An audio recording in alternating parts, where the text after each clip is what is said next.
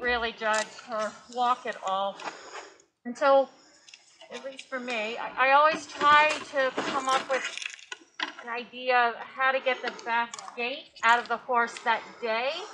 Um, sometimes you got to keep her by the other horses, sometimes away from the other horses. Um, sometimes if you're in a walk ring, you walk them against the other horses. So um, sometimes they just don't show you the gaits, but I always try a couple different things to try to show the gaits of the horse.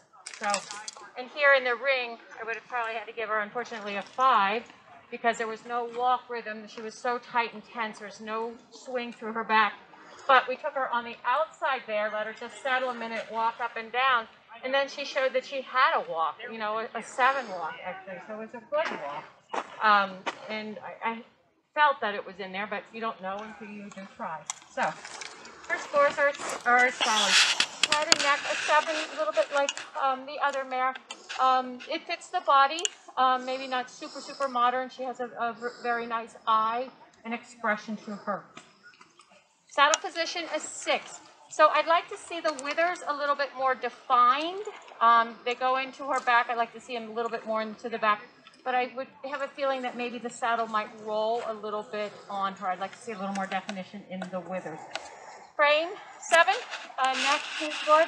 Uh, the back maybe just a little bit through the loin area, which I call as the transfer station from the hind leg to the front leg, uh, is a little bit weaker, a little bit flat, and you can see that's where she carries her tension.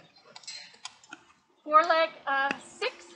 Uh, the pastern a little bit longer um, and uh, little bit, um, I'd like to see a little better angle from the ankle through the pastern into her hoof. It's uh, long and a little bit what we call soft.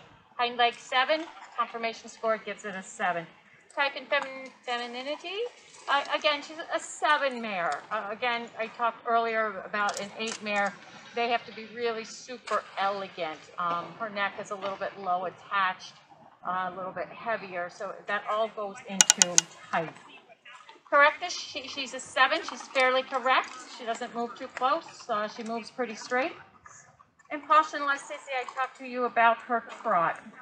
Um, or in her trot, again, we saw a seven.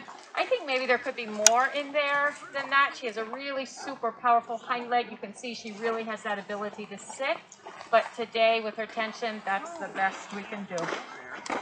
Her walk, seven. I talked about that overall uh, impression when we look at her, she looks like a Hanoverian, um, so an overall seven. Uh, final score is a seven, so she is accepted into our mare Book. Thank